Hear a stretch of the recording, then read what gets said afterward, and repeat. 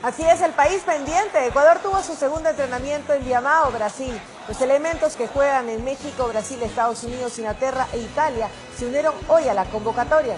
Este martes, la TRI entrenará ya con el platel completo, bosquejando el 11 que entrenará el jueves a Brasil.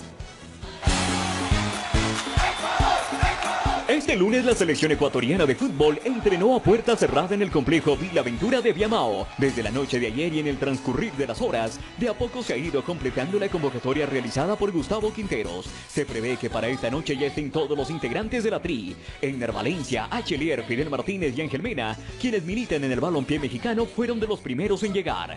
De igual manera, Robert Arboleda, Juan Casares y Carlos Grueso se sumaron al plantel. Previamente ya lo había hecho Antonio Valencia, actual capitán del Manchester United.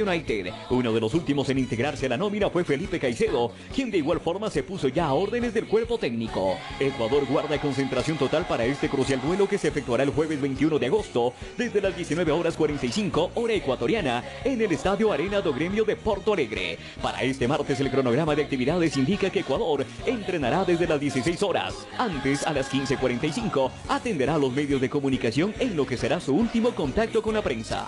Ecuador actualmente con 20 y fuera de zona de clasificación, cree que es posible revivir. Para ello trabajan al 200%, evitando una ruleta rusa camino al mundial, informó Andrés González.